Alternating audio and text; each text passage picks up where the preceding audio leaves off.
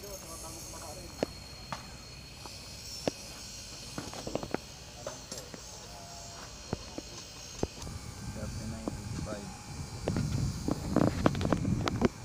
na po.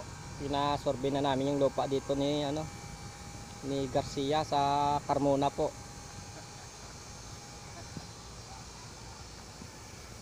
Ano? Dulo pa nga.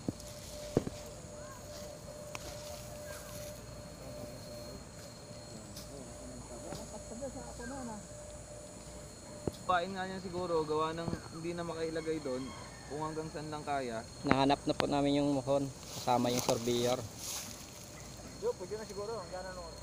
Check, check, check. Ah. kaya pa ng 80? Ah, malapit na. Oo. 80? Oo, 80. Ite, 18 na, 0.8 na lang.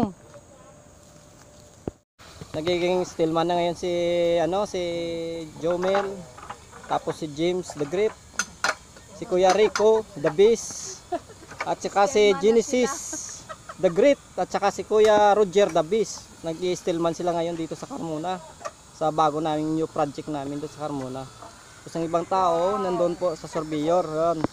Ginaguide po yung naglilinis sa madadaanan ng taga-sukat. Oo, yan po. Eh, pag nasa sapol daw mangga, harvestin na namin to.